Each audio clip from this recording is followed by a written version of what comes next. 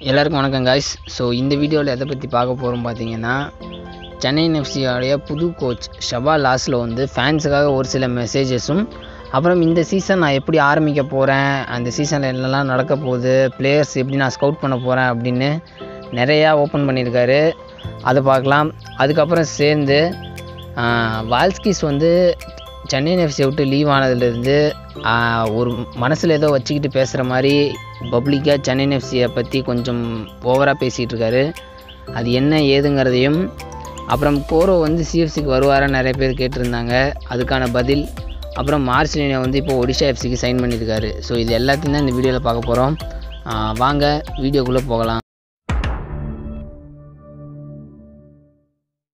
So first வந்து ஷபா Laszlo. So அவர் என்ன சொல்லியிருக்காருன்னு பார்த்தீங்கன்னா ஃபேன்ஸ் வந்து நிறைய அதாவது ஃபேன்ஸ்னால் media Indian media Indian football media வந்து அவர்கிட்ட நிறைய கொஷின்ஸ் கேட்டிருந்தாங்க. அது எல்லாத்துக்குமே வந்து அவர் பதில் சொல்லியிருந்தார். ஸோ ஃபஸ்ட்டு வந்து என்ன கேட்டிருந்தாங்கன்னு பார்த்தீங்கன்னா நீங்கள் வந்து சென்னை எஃப்சியில் என்ன பிராண்ட் ஆஃப் ஃபுட்பால் வந்து ஆட போகிறீங்க உங்கள்கிட்ட நாங்கள் என்ன எதிர்பார்க்கலாம் அப்படின்னு கேட்டதுக்கு ஸோ நான் வந்து என் டீம் எப்படி ஆடணும்னு நினைப்பேன்னா கேமையே கண்ட்ரோல் பண்ணணும். ஆப்போனண்ட்டையும் கண்ட்ரோல் பண்ணணும் பாலையும் கண்ட்ரோல் பண்ணணும் டாக்டிக்கலாக ரொம்ப எஃபெக்டிவாக இருக்கணும் அப்படின்னு சொல்லியிருக்காரு. ஸோ இது வந்து பாசிபிளான்னு கேட்டிங்கன்னா நிச்சயமாக அப்படி தான் ஆடுற டீம் வைக்கணும்.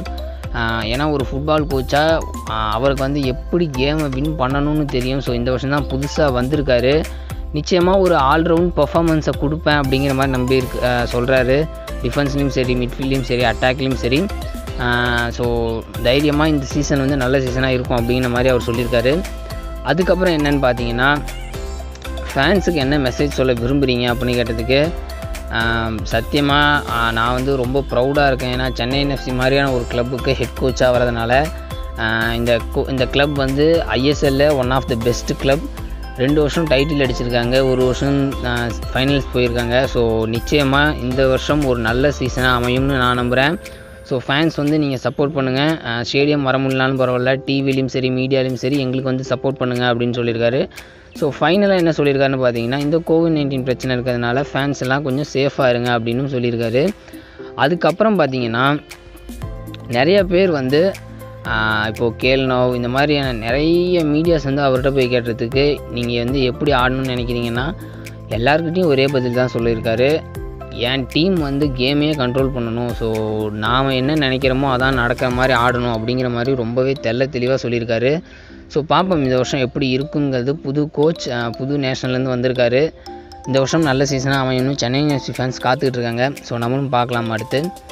அதுக்கப்புறம் பார்த்தீங்கன்னா வேல்ஸ்கிஸ் பிரச்சனைக்கு வந்துடுவோம் ஸோ வேல்ஸ்கிஸ்க்கும் சென்னை எஃப்சிக்கும் இப்போது என்ன தான் பிரச்சனைன்னு தெரில ஃபஸ்ட்டு வந்து பார்த்திங்கன்னா நிறைய பேர் இன்ஸ்டாகிராம் லைவில் அவர்கிட்ட கேட்டதுக்கு என்னை வந்து சென்னை எஃப்சி கான்டாக்டே பண்ணலை செமிஃபைனல் முடிஞ்சு அப்படின்னு சொன்னார். அதுக்கப்புறம் கொஞ்ச நாள் பார்த்தீங்கன்னா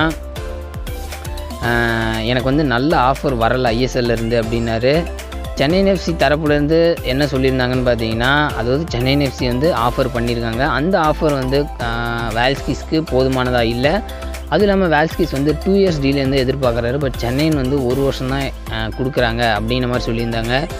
அதை மனசில் வச்சுக்கிட்டு ஜம்ஷத்பூருக்கு சைன் பண்ணதுக்கப்புறமா ஒரு அவருக்கு ஒரு மனசில் ஏதோ ஒரு வருத்தம் இருக்கும் போல் எலிசாபியா கிருவலாரவையும் கூப்பிட்டு போகாததுனால ஸோ அவங்க வராததுனால இன்ஸ்டாகிராம் லைவில் தான் ஆனந்த் தியாகி அவங்கக்கிட்ட இன்ஸ்டாகிராம் லைவில் உங்ககிட்ட ரஃபேல் கிருவல்லாரோவா ஷெம்ப்ரியான்னு கேட்டதுக்கு ஷெம்ப்ரியை சொல்லுவார் நல்ல டிஃபெண்டர் யார்? எலிசாபியாவா? லூசியன் கோயான் கேட்டதுக்கு லூசியன் கோயன் சொல்லுவார். ஸோ இங்கே சென்னை எஃப்சியில் இருந்த வரைக்கும் லூசியான் கோயானே அவ்வளோக்கு பேசவே மாட்டார். கிரவல்லாரோ என் எலிசாபியாவை அவ்வளோ ப்ரைஸ் பண்ணார். பட் சென்னை எஃப்சி விட்டு வெளியே போனதுக்கு அப்புறமா ஏதோ ஒரு ஈகோ கிளாஷாக என்னன்னு தெரில பட் அவர் இப்படி பேசிகிட்டு இருக்காரு. இதை பற்றி நான் பேசும்போது ஒரு ஒருத்தர் வந்து எனக்கு கமெண்ட் பண்ணியிருந்தார். நீங்கள் வந்து ஒரு பிளேயரை விட்டு போனால் அவங்கள ஏன் ப்ளேம் பண்ணுறீங்க அவங்களுக்கு வந்து மணி தான் முக்கியம். அதனால் நல்ல ஆஃபர் கிடைச்சதுனால போயிட்டாங்க அப்படின்ட்டு. ப்ரோ நான் வந்து யாரையும் வந்து தாழ்த்தி பேசணும் அப்படிங்கிறதுக்காக நான் வந்து பேசலை.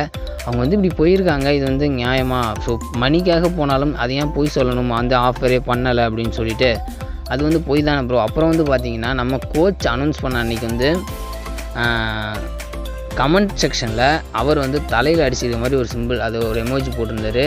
ஸோ அவருடைய மரியாதையை அவரே கெடுத்துக்கிறாரோ அப்படின்னு தோணுது. ஏன்னா அவர் வந்து சென்னை எஃப்சியில் ஒரு சீசன் ஆடி இருக்காரு அப்படிங்கிறது தான் ஃபேன்ஸ் அவர்கிட்ட ரொம்ப நம்பிக்கை அதாவது மரியாதை வச்சுருக்காங்க. பட் இந்த மாதிரி சில்லித்தனமாக பண்ணிகிட்டு இருந்தால் போய் அடிச்சு விட்ருவாங்க ரிப்போர்ட் அடிச்சு விட்ருவாங்க அக்கௌண்ட்டாக இல்லைனா வேறு ஏதாவது பண்ணி விட்ருவாங்க பார்க்கலாம் என்ன நடக்குது அப்படிங்கிறது. ஸோ இதுக்கு மேலே அமைதியாக இருப்பாரா என்னென்னு பார்ப்போம். அதுக்கப்புறம் பார்த்தீங்கன்னா கோரோ வந்து சென்னை எஃப்சி வரத்துக்கு வாய்ப்பு இருக்கா அப்படின்ட்டு நிறைய பேர் வந்து என்கிட்ட கமெண்ட்டில் கேட்டீங்க. ஸோ சத்தியமாக வரமாட்டார். மார்க்கஸும் அதை தான் சொல்லியிருந்தார். கோரோவுக்கு வந்து ஐஎஸ்எல் இருக்க எந்த கிளப்புமே ஆஃபர் பண்ணல. ஸோ கேரளா பிளாஸ்டர்ஸ்லாம் பண்ணியிருக்காங்க ஜம்ஷெட்பூர் பண்ணியிருக்காங்கலாம் வந்தது. ஸோ எதுவுமே பொய்யில் பொய் அப்படின்னு சொல்லியிருக்காரு எல்லாமே பொய் அப்படின்னு சொல்லியிருக்காரு. அடுத்து வந்து மார்ஸ்டினியோ வந்து நேற்று ஒடிஷா எஃப்சிக்கு சைன் பண்ணியிருக்காரு. ஒடிஷா எஃப்சி எதனால் இந்த மூவ் பண்ணியிருக்காங்க அப்படின்னு எனக்கு இன்னும் புரியவே இல்லை.